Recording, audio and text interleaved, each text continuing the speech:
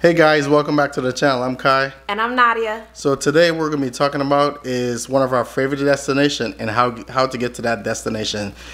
Everyone knows that we love going to the Bahamas. The Bahamas is one of our favorite spot to go to because it is so close to where we are right now and we just have tons of fun every time we go there food things to do i mean the place to stay it is fun it doesn't cost much to go there and people are always wondering what it's like on that ferry. So we're going to take you into some inside looks of what the ferry looks like and what's what it has to offer. Stay tuned to the end of the video. You're going to get five tips about using this ferry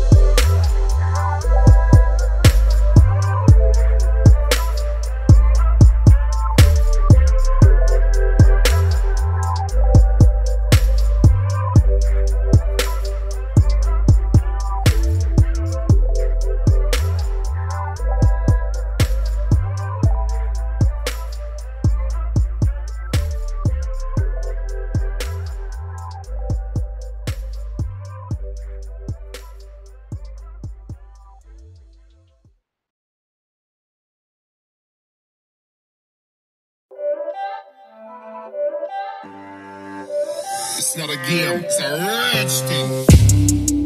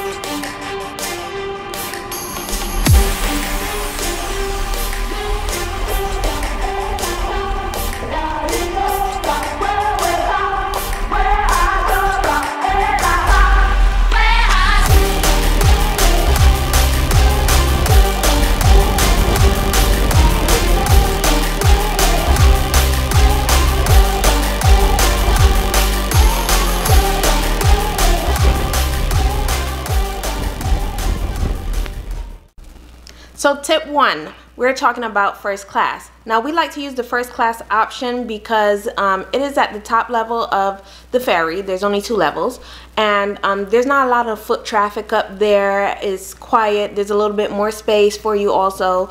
Um, only thing is, is that there's not a bathroom up there, but um, it's not uh, very expensive to be able to go to the first class option. Tip number two, go ahead and buy some Dramamine before you uh, take the trip because you're going to need it, especially if you're not used to traveling by boat, ferry, or any kind of vessel.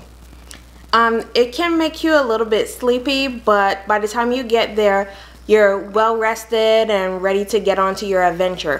One thing I want to tell you about the Dramamine is that we also give it to our son and I like to crush it up and just put it in a little bit of juice and smooth sailing. Tip number three. Tip number three applies to when you're returning with the vessel.